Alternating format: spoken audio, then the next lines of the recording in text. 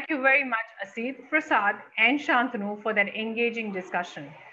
Thank you, Prasad, for taking us through the details of how Dell Technologies and SISL have been instrumental in transforming RailTel to an ICT leader.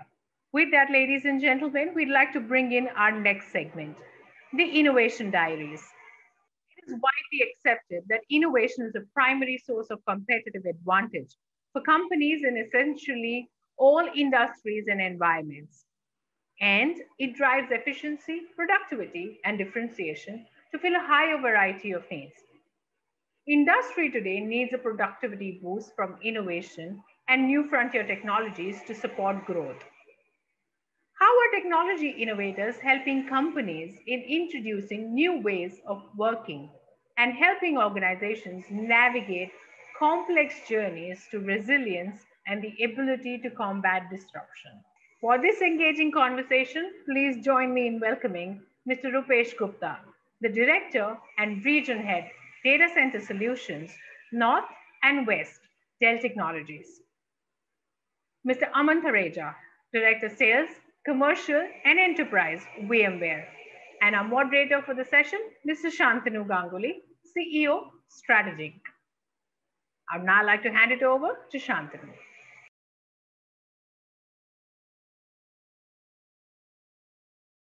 Good day, everyone. This is Shantanu from StrategINK. I'm back with you in today's uh, Innovation Diary session, where we will have uh, technology solution-led business innovation conversation with eminent technology leaders uh, from the Indian industry. And we will discuss certain use cases, uh, success stories, industry vertical examples, and uh, all live in, in presence of our distinguished audience so that the audience can uh, imbibe, reflect upon, uh, evaluate certain possibilities, visualize certain opportunities, and then adopt appropriately where it makes uh, exponential business impact. So with that note, pleasure to welcome today uh, Mr. Rupesh Gupta, Director and Regional Head, uh, North and West, Data Center Solutions, Dell Technologies. Welcome, Rupesh. Thank you, Shantanu, and a warm welcome to all of you. And uh, also delighted to welcome Aman Thareja, Director Sales, VMware. Welcome, Aman. Pleasure to have you together with us. Thanks, gentlemen. And, and it's a privilege. Uh, thanks for taking out uh, time from your busy schedules today and then uh, for enlightening, uh, for agreeing to enlighten our audience today. So, uh, and then for our audience, uh, we have already seen the, the Disruption Decoded session where our, our boardroom members shared certain highlights. So I'll start with a clue from there, and then this clue is uh, from Disruption Decoded, where we discussed about uh, business organizations' imperatives of very finely balancing old technology with new, and then that continuous need to protect what's working well for you, which is your core uh, technology infrastructure, and then and at the same time uh, continuously evolving uh, in, in your digital journey and modernizing where it needs uh, to be modernized and where it delivers exponential business impact. So with that context, uh, Rupesh, I would want to come to you that uh, tell us a bit about uh, how Dell Technologies is enabling our customers today uh, to modernize and innovate, say, with digital age technologies such as hybrid multi-cloud or uh, AI-enabled data monetization and, and secure digital automation uh, without destabilizing their core business operations and at the same time uh, evolving and modernizing for the future? All right. Uh, thanks, Shantanu, for asking this question. Um, let me just try and uh, build context here uh, and the, the problem statement. See, disruption is needed, but it can't be at the cost of ongoing technology and business operations. The key success factor here is to scope it well, plan it well, and execute it well. And the right partners who understand the environment, challenges, are the right folks who will execute it well. Let me talk about AI here. According to a recent study by Forrester, organizations are either using or planning to use today's AI for use cases such as improving IT efficiencies, mitigating compliance risks, gaining better customer insights, delivering a better customer experience, and many more. Every organization has a unique approach to how they implement and derive value out of AI. But regardless of, of how organizations chart the course through the data era, there is a little question that to thrive, they must become digital, organ, digital organizations powered by data and running into multi-cloud world. Those organizations who align themselves to the value of data, capitalize on the power of AI, and evolve their businesses in new and differentiated ways to outpace their competitors. Those who not, do not will lag behind. We are one of the pioneers in the hybrid cloud technology and workload optimization to me is at the core of our solutions. Our latest servers, PowerEdge servers and storage solution portfolio are purpose built for such workloads, not only from a, from a performance standpoint, but also to enhance, but also has enhanced security built in to protect your data. Awesome. I think uh, leveraging best of breed technologies, personalization, and contextualizing it specific to one's business organization need, and then also taking a grounds up approach, uh, analyzing diverse needs of different workloads. I think I think with, with that as, as a key takeaway, I'll come to you, Aman, and, and build on top of what Rupesh just mentioned. So while this approach uh, is, is very, very unique and high impact, uh, I would also bring in a few uh, points which from the disruption decoded session our CFO pointed about, which is about uh, this uh, changing times and world where there is a lot of unpredictability and ambiguity that overall as a business, uh, every organization is having to navigate. At the same time, they, they, they are uh, compelled to constantly innovate and uh, evolve as a digital native business and ecosystem. So how, uh, as per you, VMware is enabling customers towards uh, sort of uh, achieving this in a very balanced manner? Sure, sure.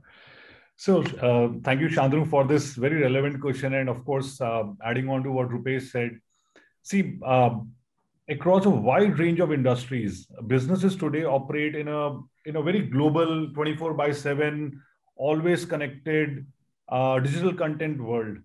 Uh, in this virtual era, customers, partners, employees, uh, everyone, everyone expects information to be available anytime, anywhere, and on any device. COVID uh, brought in some kind of unpredictability, but I think it, it has also accelerated the rate of innovation. Um, it has changed the rate of innovation, I think, at a lightning speed uh, when I talk to so many customers about their uh, digital journey and their visions, what they had thought they will do about three years uh, away, they have kind of advanced it and, and, and done it in six to nine months. Also, one very important thing which uh, I feel is that because of the elongated COVID period, it is now affirmed and very, very strongly accepted that IT is not a cost center, but IT is a business driver and enabler. And this has been proven over a period of last few months where seamlessly the consumers are still able to operate, buy, and even get support for what, what they want. Companies like Dell, companies like VMware, uh, various other companies uh, which, which help us enable this have been evolving their solutions also to make sure that uh, this delivery is always available.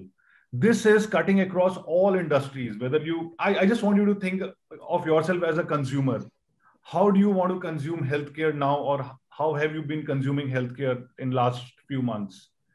How do you consume banking? How do you consume retail? I think the world is still going on and the world has not stopped. I believe that when the going gets tough, the tougher guys get going over there. And this is a great time for companies to really adapt, rethink, reimagine, and implement new strategies. VMware uh, Uh, traditionally came in about 20 years ago. We were the ones who brought in virtualization to the compute and said that hardware can be agnostic for our customers. And today, VMware has, uh, has embraced multi-cloud. So when we talk about multi-cloud, what it means is that a customer should have the ability to consume any native cloud, move across native clouds, or come back to an on-prem cloud, or go on to an edge or a telco cloud. Can we do that seamlessly? Yes, of course, we can do that with the VMware Cloud solution. Uh, VMware also goes to the end user side, and there are various solutions which VMware provides, uh, like your unified endpoint management, mobile device management, or your virtual desktop solutions, which can help your employees or your customers still access the whole solution gamut in a very seamless way. Now, on one side, we talk about the infra. On the other side, we've spoken about the consumption by the end user. But what drives this all, or what is in the center of this, is the workload. When I talk about workload, workload is applications, data, so VMware has brought in its Tanzu portfolio, which helps you adopt the microservices environment. And microservices really changes the game. Uh, just, just for example, let's uh, think about how do we watch TV. Yeah, we all used to watch TV with cable TV. We were happy with four channels, eight channels, 30 channels, 100 channels. And now we all move to a OTT operator kind of environment where Hotstars, Netflix of the world uh, give us this kind of flexibility to watch TV. And this has happened because of these modern solutions and the digital transformation journey which companies took. And this really helped them break apart from the pack and, and bring about change. As VMware, we also focus a lot on security side. And for us, security is intrinsic. We don't believe in a bolted on security. We believe in built in security. Can we build in security at a virtual application level? Can we have security in our cloud journey? Can we have security in our um, endpoint solutions? Yes, we need security everywhere in an intrinsic format. So I think I, am I think I'm very fortunate that as as a VMware uh, salesperson, I can help customers on their transformation journey and address uh, solutions uh, across uh, various segments. Wonderful, Aman. And I think what you mentioned and summarized in a short span of time exactly resonates with what uh, our esteemed customer uh, from Railtel uh, affirmed uh, during the Profiles in Success session. So they adopted Dell Technologies solution overall as part of their uh, e-governance and digital workspace uh, program. And given the, the, the richness and the, I would say, unique, uh, high impact uh, technology, services, support, all combined uh, uh by, by Dell Technologies uh, and uh, SISL Infotech. This customer had a jumpstart in terms of time to value. They, they had planned this project rollout for 12 months, which they could accomplish in six months itself. They started with by thinking about 50,000 customers who would be leveraging this ecosystem. It's now already grown to 1.5 lakhs users. And thirdly, uh, they are uh, launching new services now and across diverse lines of businesses, uh, pan enterprise, to be able to uh, exponentially demonstrate real life value. Sorry, Rupesh, you had a point to add? Yeah, if I may add, you know, to Aman's point, he mentioned a couple of data points which are very relevant, the, how we consume banking today. And the other point he spoke about that due to the unprecedented times we got all got into, uh, the, speed of uh, digitization is, is actually happening at the speed of light. I think it is more of a forced one. Uh, many of us didn't realize. But there is a other merit from a, from a our country's standpoint is that our predictability or our prediction on the average age is going to turn 25 by the by the year 2026 right? That's what the data says which essentially means that new, new and young generation who's already born in our digitized world will definitely have that.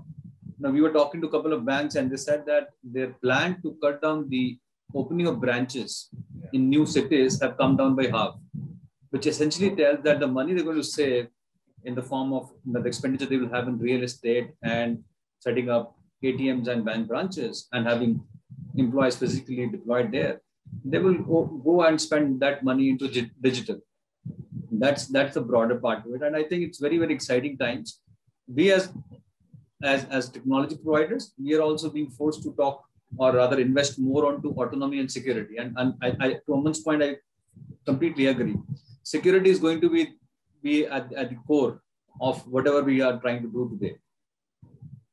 Wonderful. Thanks. Uh, to, to move forward, uh, one, uh, I would say new angle dimension I would want to bring here is about the user experience and the people part of the, the business organization and, in, in, and, and about their uh, uh, experience of using, adopting technology and overall that uh, digital culture, uh, digital mindset and possibly a larger digital DNA uh, being embedded into the business organization goes a long way towards uh, adoption of these cutting edge technologies, putting the uh, outcomes flow back into the business processes and then they, they deliver the impact and result which, which are required from a customer facing, revenue facing and result facing standpoint.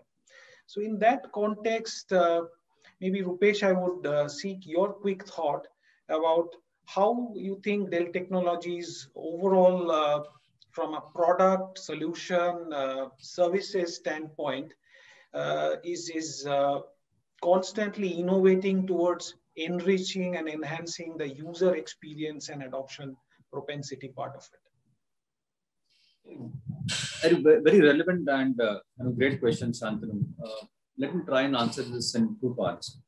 First of all, as, an, as a technology organization, we, and uh, it was all across in public media that we invest more than $4.5 billion in R&D. And that's the spend we, we do every year in, in, in innovation and research and development. Now, for us, research is just not technology, you know, investing or innovating products in, from a technology standpoint, but it is also to understand the user behavior and delivering on expectations. What are user wants? How they? What are the challenges they face while managing our, our portfolio, or what are the uh, real real ex examples or real life uh, situations they get into, and what are the outcomes they expect? So we spend a lot of time around that. We capture customer feedback from hundreds and thousands of customers across the globe to decide and build an enhancement into our solutions. Let me talk, take a couple of examples. Today, customers want automation and security. And these are the two topmost, I think, uh, priorities in any organization across the board without compromising on performance. So net net, what we are saying that you want performance, you want automation, and you want security. Let me talk about something which resonates with, with our server portfolio. So the, our recent, uh, recently launched server portfolio called PowerEdge, internally we call it as 15th generation of servers. This is built on three key tenets, adaptive compute, autonomous compute infrastructure, and proactive resilience. Let me take a couple of them just to briefly talk about what autonomous compute infrastructure means here. We are building intelligent systems that work together and independently, enabling rapid digital transformation and productivity.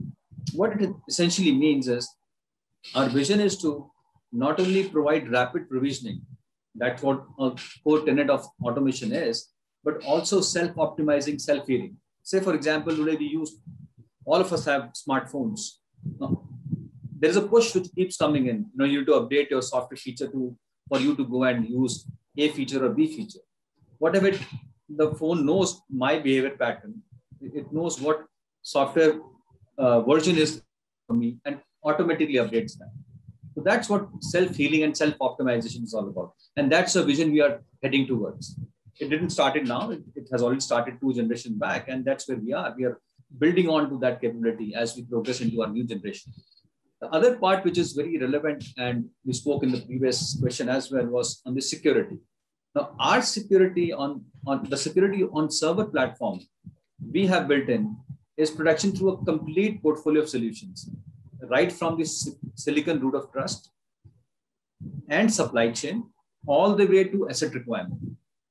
What I mean by asset retirement is that tomorrow you want to retire a server, you can do a system erase and nobody will be able to fetch the data, even if you discard a server or sell that repurpose a server for some, some other use, use case. Brilliantly put, adaptive, autonomous, and proactively secure. And on that thread of proactive security, maybe I'll uh, come to Aman uh, on this point where uh, Aman, uh, again, uh, basis conversation with a uh, couple of CIOs we spoke previously in our War Room Diary session. Uh, we see whereas the vision of uh, maneuvering diverse workloads across multi-cloud environments.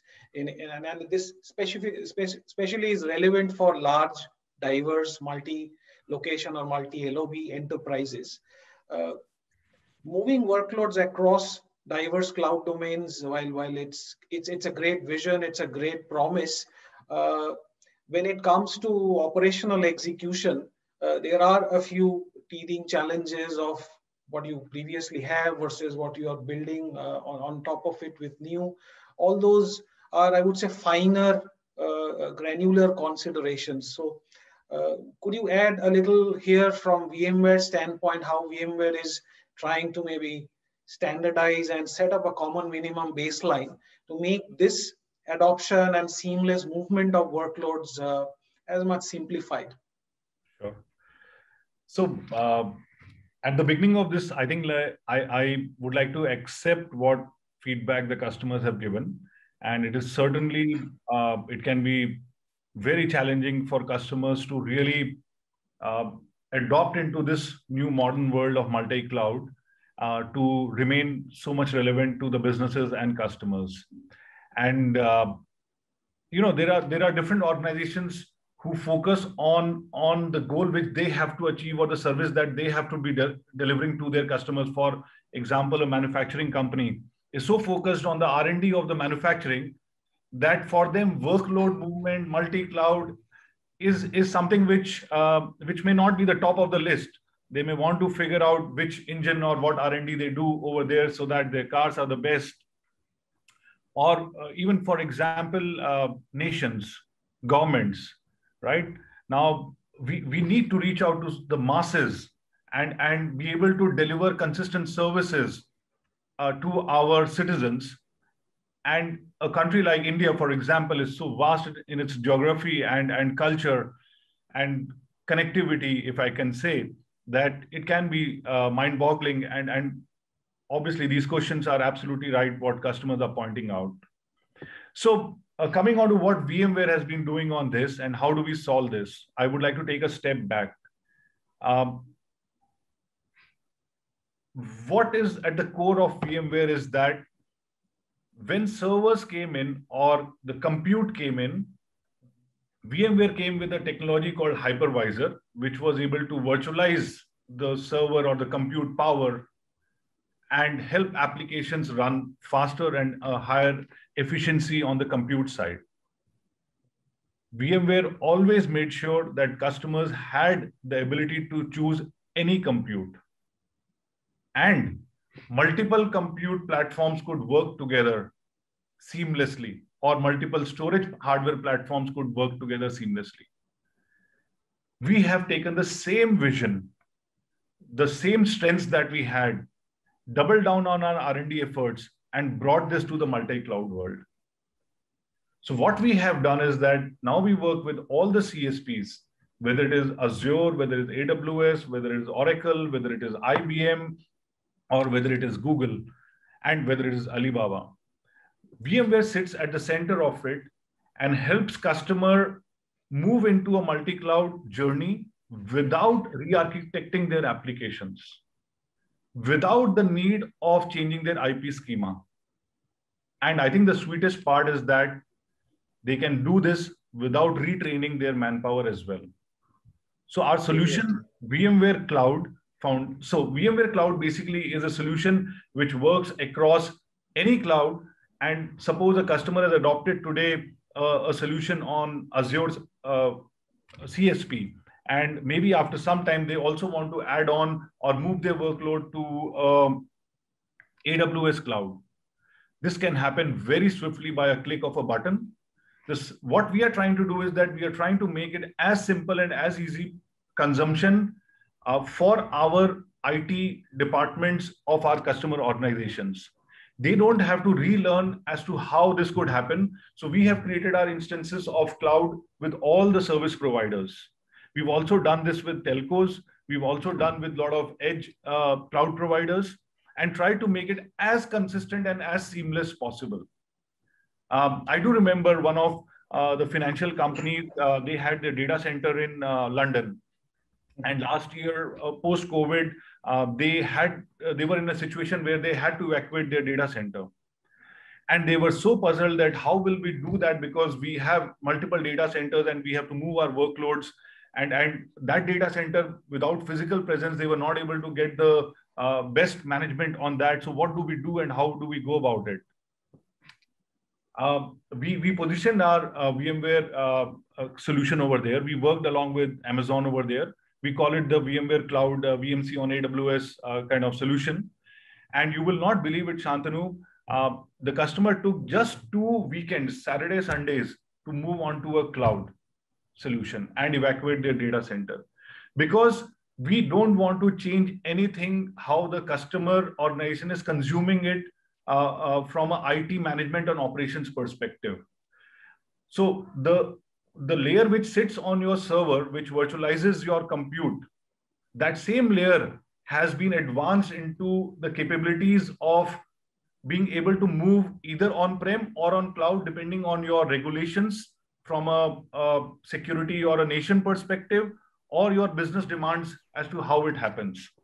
So I think there are certainly a lot of solutions uh, which we can discuss more in detail. But I would like to say our customers that we are here to work with you to solve this problem of a mammoth task of moving to a multi-cloud journey. Uh, we have our services capabilities to help you uh, achieve that. We also kind of assure you SLAs. It's not just about like moving you there, but we maintain the SLAs also for you. So, uh, uh, of course, happy to talk in more detail about these solutions and how they can help you consistently and seamlessly adopt the multi-cloud journey. Brilliantly put. I think VMware's uh, pro proactive effort and then uh, market leadership towards uh, pre-building maximally all these multi-cloud integrations as part of their core design philosophy of offerings into the market makes uh, all these technologies uh, very, very consumable off the shelf and in the shortest time to value. I think that's the biggest benefit that I see customers derive out of this portfolio. And of course, for any last mile uh, custom integration, there are certain, I would say on, I would say customer specific or project specific services, which sort of complements that last 5%, 10%, 15% of the integrations. And, and okay, I, on that, Shantan, the partner ecosystem has also been evolving with this. Yes. So uh, they, they have evolved, they have services, they have manpowers a lot of large companies like Wipro, CFI, IBMs, I mean, they all have this, uh, this strength of uh, helping customers in the integration services capabilities. And, and we work and invest with our partners uh, seamlessly to ensure that uh, it, it, its adoption is easier at a scale uh, also. Fantastic. I have an eye on the clock. So uh, very quickly, my last maybe point on today's Innovation Diaries session is about uh, this very interesting topic of the future of work is hybrid. And I'll, I'll, I'll split this into two parts and uh, seek your views. Uh, so when I think and look at future of work and purely from a technology and, and technology-led business uh, innovation angle, I, broadly, we can break it up into two parts. One is more on the data center side, where it is more the backbone of the business, technology backbone. And the second aspect is more on the digital workspace side, which is more the front end uh, employee touching or user touching part of the business. So maybe to Rupesh, I'll request your quick point of view on uh, the future of work, how uh, do you foresee uh, the future unfolding from Dell technology standpoint? Thanks, Shantanu, for a great question. And I think uh, the term WFH has evolved in the last two years or so, rather one and a half years or so. It used to mean work from home, but I think now it means work from hills, right? And which essentially tells us that you, you need to provide the ability to your end users to work from anywhere. With that, with that as, as a context, I think it's important that what what relationship Dell and VMware carries, right, from a from a research and development work. So we have a long history, and we integrate pretty well uh, at a PG level. So our products are, or all the innovation which happens through works integrates well with the VMware platform. And to give you a bit of context around that, how we are poised in the market, how we are delivering our promise to the market, 100% of the Fortune 500 companies and Fortune Global 100 companies use VMware and Dell. And Dell is one of the largest IT companies in the world delivering innovation, innovative technology and services. That gives you power to do more. We ourselves are one of the largest consumer. Our entire VDI stack is built on VMware VDI, uh, VMware Horizon platform. And you know, we, we it's not recent. We have been there on this platform for long now. And as we got into the unprecedented times last year, we were the, one of the organization, first organization to go and ramp up because the base was already there. So whatever additional employees we had to cover uh, with that VDI stack or providing the VDI uh, image, uh, uh, the workloads, it was done without any much of the effort. The only effort was to go and supply, ship the laptops to, to the end user at their homes or wherever they're staying. The other, other aspect which comes very, very handy for us is with all of that integration which you see at, at the at the end user level, we also went and de- developed some of the how user experience can change, which essentially means that you create personas. I'm a salesperson. What data is rele- relevant for me? So our IT teams work, you know, I think in the right direction with respect to that whatever data which is we are, we're a large organization with a lot of you know infrastructure offering to, to offer. I mean, I would take two hours to go, go and keep on going on talking about what that overall portfolio. But having said, what as a user, what relevant data I can capture. So we created different personas so that the end user experience is met and the the navigation becomes easier. Because if you're in office, obviously you need you have people around, you can ask your colleague sitting in the next cubicle about a lot of information, which is not possible today. So how to make it more easy. And the third largest piece, which is that how do we go and in, integrate into the data center? Making a disruptive change in the way things are consumed. True. So that's a great uh, global success story. Aman, you want to add something to this?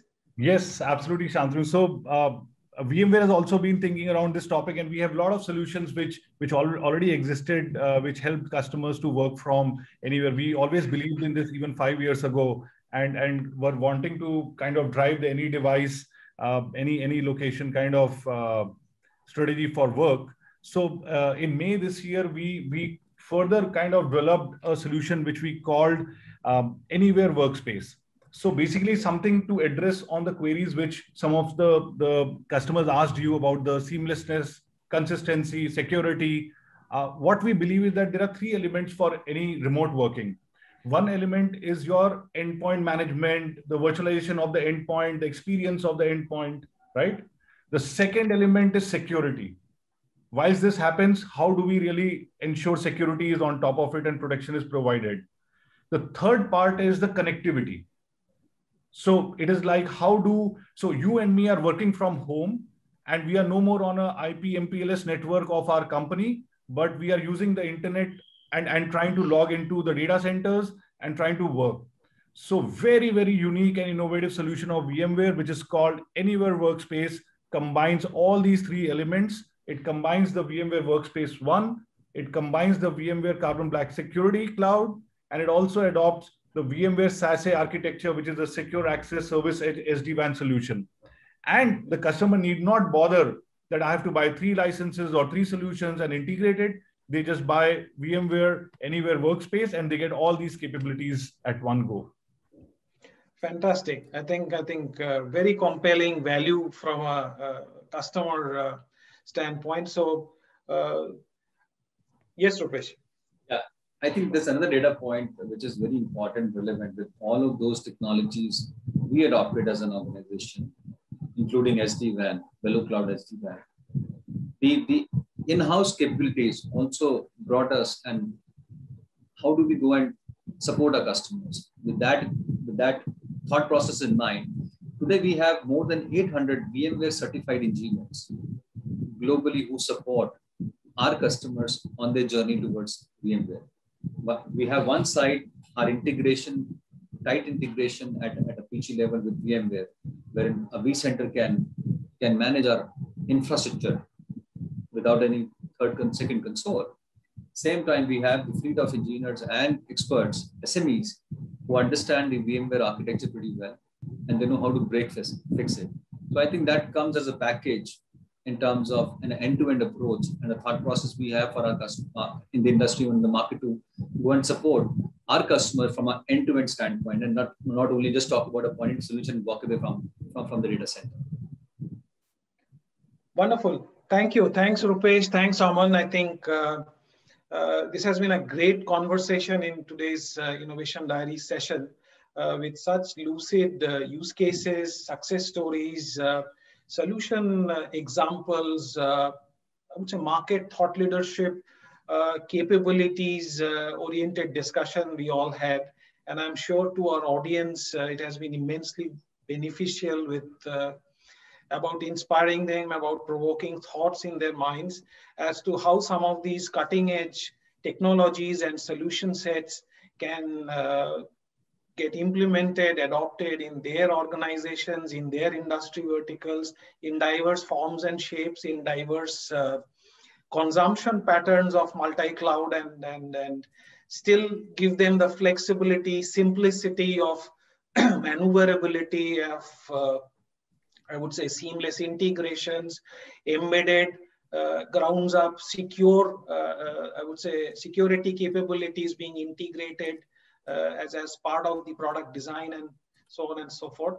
So uh, to our audience, uh, that was Innovation Diaries and uh, I'm sure uh, by this time of the Boardroom Unplugged session today with Disruption Decoded, War Room Diaries, Profiles in Success, and now with Innovation Diaries, you have had a brilliant exposure in the shortest possible time to diverse thought processes, rich conversations, points of views, experience sharing, and uh, hope we could all collectively give you a great glimpse of practical examples, insights, and adoption, uh, uh, I would say, use cases. So stay tuned. Uh, we, we will be back with you shortly for our next session, which is Leadership in Focus. And thanks, Rupesh, Aman, once again for joining us today in Innovation Diaries. Have a thanks, An thanks, Antanu, and uh, to all, all the audience. Good times ahead. Thank you, everyone. Thank you. Bye.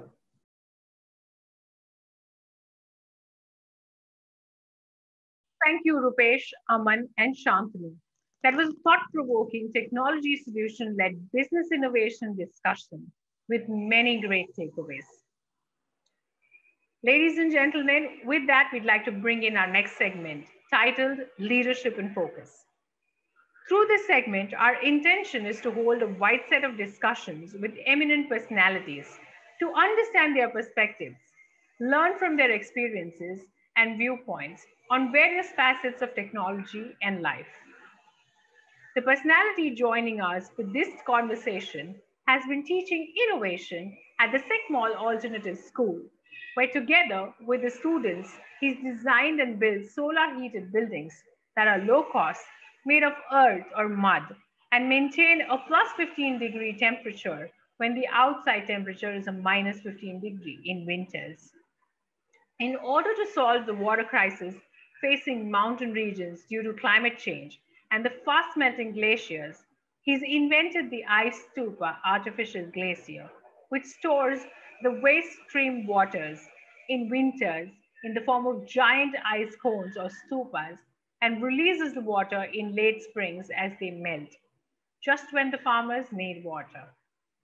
Please join me in welcoming our celebrity speaker for the day, Mr. Sonam Wangchuk, an eminent innovator and environmentalist who's in conversation with Ms. Ritu Gupta, Director of Marketing, Dell Technologies.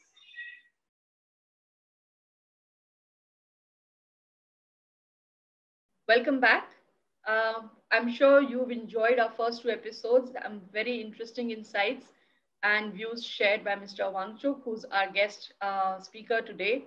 Uh, as we start with our third episode now, uh, one question for you, Mr. Wangchuk, and I know this is a topic which is very, very close to your heart, and you and you do uh, believe in this very strongly, and that is about technology and progress uh, and and sustainability kind of going hand in hand. So, if I have to elaborate on my question, we we do know that you know positive prosperity overall must come with a positive impact to people's lives and how do you see that going hand in hand in a manner that technology can help us build not just a prosperous and resilient future overall um, for our children, but as well as for our ecosystem? Uh, how do you see that going? So yes, uh, for the betterment of everybody, um, all living beings, Bahujan Sukhai, Bahujan Hitai, um, on this planet, which is a Vasudhaiva Kutumbakam. So it's a family that we are living in. We should look at our planet as that. And in that uh, planet, we have to use technology to make it better for everyone, not just for me, my family, my country, nor for just human race, but for all our siblings in the wild also. So all living forms and non-living forms, the landscapes, the beauty of this planet, as long as our technology helps improve it, we are successful. But if our technology only helps a segment of it, for example, humans only, or me, myself only, and harms others, then I think we should have the wisdom of choice not to go for such technologies. Otherwise, technologies can do miracles. For example, even to live a happy life, you know, Edison invented the light bulb, which revolutionized life, but it was the incandescent bulb, which took so much energy. So some 30, 40 years ago, if you remember, all these electric bulbs illuminated our lives into the night, but to get that light, we had to burn so many coal-fired power plants, nuclear power plants, and so on. It was important, but it took a lot of resources. So technology, both uh, you know IT and other technologies together, researched and came out first with you know um, these uh, uh, lamps, these efficient lamps and uh, we have now LEDs, light emitting diodes. Earlier it was the other kind, which are like 20 times more efficient than Edison's bulb. So technology can do the same thing in such little resource that all these coal-fired plants, I'm sure, could be closed down or put to other uses thanks to good wise application of technology. Similarly, you now have not just coal-fired plants, but solar power, which is again reducing the impact on nature. But then it should not be only about, you know, unbridled desire for more and more in our lives and not about efficiency and optimization. So technology can again help us in this. It doesn't help if solar panels are used in such scale that you know we don't look at reducing the need and use of energy at all. So even solar technologies, you know, panels do a lot of uh, harm to the planet. They can pollute when they go you know, uh, they retire and they become garbage. So again, technology, especially IT, can be used as uh, our binoculars. Like I said, man is a tool making animal. So we invented binoculars to look at very far places that we want to go. And you can use these binoculars to see and say, I want to go there, or to see and say, I don't want to go there. It's not the right path. So similarly, I think technology should be put to use to project what we cannot see or imagine with our ordinary mind. So use this tool of the mind to project what happens if even harmless looking photovoltaic panels are so scaled up that finally, if you look at, it may be visible that this alone can cause a huge problem. I wish the people who invented the internal combustion car had these binoculars to see and say that no, I see way into the 90s and 21st century, this same thing causing a lot of destruction on the planet. So we better change it. You know, um, some hundred years ago, we had a great choice of going for um, fuel, fossil fuel for our cars or electric. So electric cars are not new. They were in the 1800s also. If we had the binoculars of technology back then, we might not have chosen um, IC engines. We might have gone on the electric vehicle EV path 200 years ago rather than doing it now so late. So I think technology also has these power like binoculars to eyes, bicycles for our movement, the same effect to look far into the future and say, we want to go there, we don't want to go there. So that's how I think technology should be put to use rather than only in maximizing production and consumption. And then uh, in the process, the planet, you know, suffers. So again, you're emphasizing about the, the wisdom of choice that rests with the humankind and with man to see how technology help of this tool to make choices of wisdom.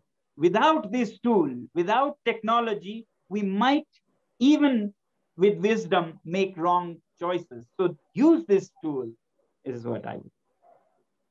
Very well, very well. Uh, taking our discussion forwards, uh, if I look at the last 15 odd months, um, you know, the whole concept of collaboration and meeting and working together has completely been redefined. We're no longer sitting in the same geographical spaces as in the offices or wherever, you know, common work areas, uh, but everything has become digital. We are also conversing, you know, on a digital platform. And the beauty is that, yes, you are there and joining us from Ladakh. I'm here in Bangalore and and we are still able to connect. But that is how it has become, everything has become digital.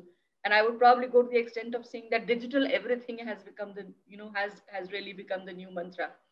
So in this entire space and this era of digitization, when everything is becoming very digital, how do you think we can build on this transformation and inspire our leaders of today and tomorrow, especially in this digital era? Yes, so as you rightly said,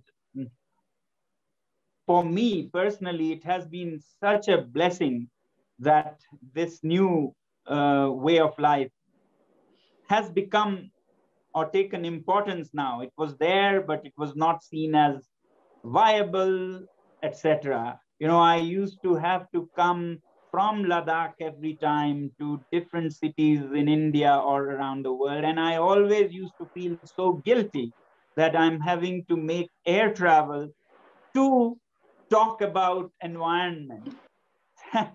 this has this has really amazingly freed me. And this is a great example of how technology can be used for impact, for sustainability, for the good of everyone.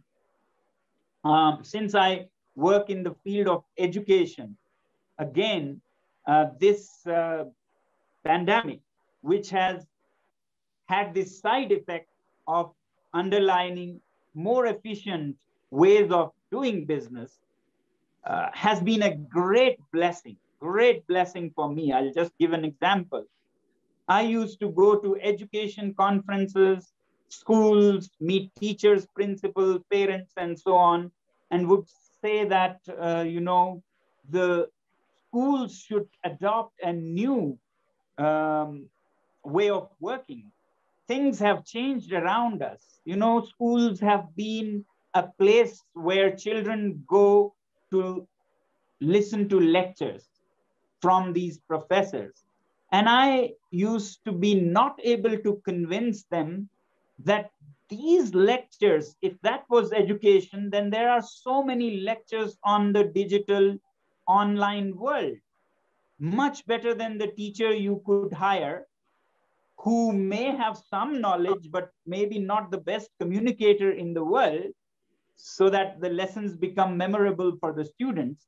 10 times better lectures are all on internet and students anyway watch those and learn and when they come to the school they have nothing new to learn from the teacher because they have cleared their concept from youtube and so many other platforms.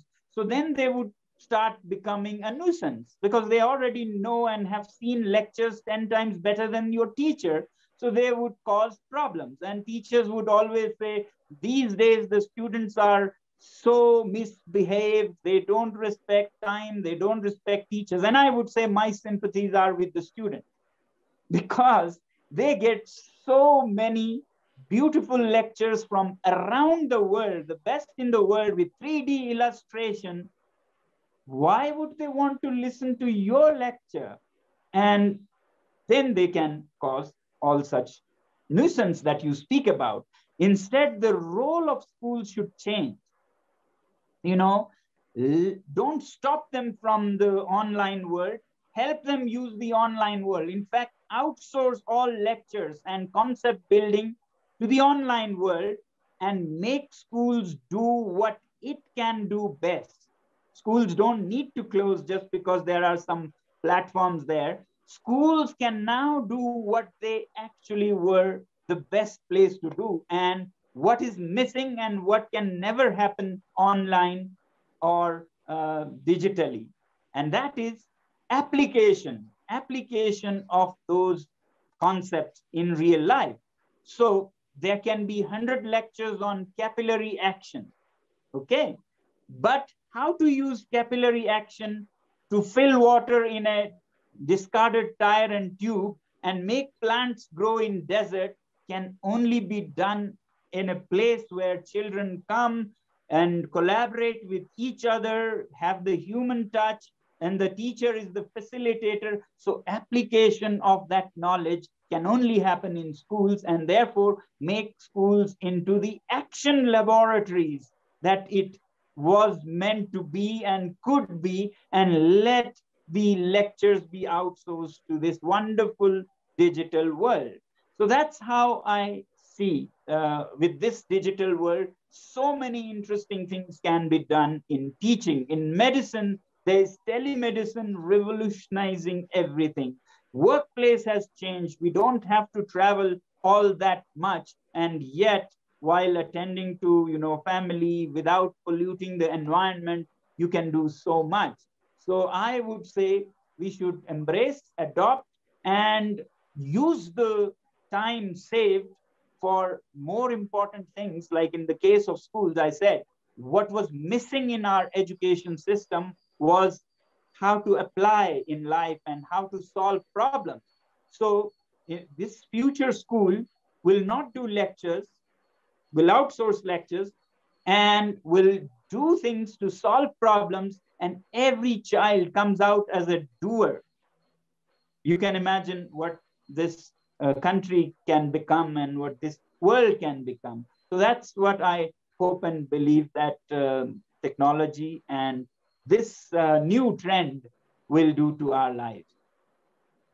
And that that's that's going to be the foundation for the leaders of our future, for the leaders of tomorrow. that, that we will have in the country. Um, interesting. Um, as we wrap up, one, one last question to you, and that is, uh, you know, we, we, you've, we've spoken a lot in detail and you've shared a lot of uh, your views with us today as uh, Sonam Wangchuk, the innovator and the education reformist. Let's now take a peek at uh, the, the, person behind all of this, which is you yourself, um, Sonam Wangchuk. How, what, how, how do you keep yourself um, engaged outside of workspaces? How do you find the time to pursue some passion areas which should which could be outside the outside the, the work? And what are those passion areas for you? Okay, so interesting question. Uh, people have asked me as my hobbies and what I do on weekends and so on. Somehow I feel that you need weekends and you need hobbies when you are in a situation when where you have to do things you don't really love to do or it's not the best refreshing thing for you. Very important for them. But if you make the right choices, and if you are in the field that you are passionate about, I think you do not need a weekend or a break or a hobby to take you away. So in my case, what I have, what I'm doing is what I chose. I didn't have to choose a different thing and then take a break from it. So it's very important that you make the right choices. So for me, there, I mean, why do you take breaks to refresh yourselves? Uh, my work is so refreshing that uh, any break would actually break that refreshingness. So I really, my work is my hobbies, uh, except except when you have to do some administrative things that you really didn't mean to, like accounts and uh, you know the work with people who have things that you don't want to be spending your time on. Then yes, I would need a break. But otherwise, on weekends or even on weekends when you go for something so-called interesting, I am often seen taking a break and uh, thinking of my own solutions and problem solving, which is what really uh, is uh, energizes me. So I take breaks from the break to do what I normally do, which is um, finding solutions to various problems using simple uh, methods. So, sorry, nothing exciting or interesting, but it is uh, a different way of seeing it. Oh, definitely. When your passion becomes your profession, then nothing can be better than that, right? Uh, great, great. Thank you, Mr. Wangchuk. Thank you for your time, uh, for you know, and for sharing so many interesting stories and insights with us. I'm sure our audience has found these to be very, very relevant and thought-provoking for sure. I have thoroughly enjoyed our discussion today. Um, once again, on behalf of Dell Technologies, would really like to thank you for taking your time out and meeting up with us all the way from Ladakh. Thank you so much, sir.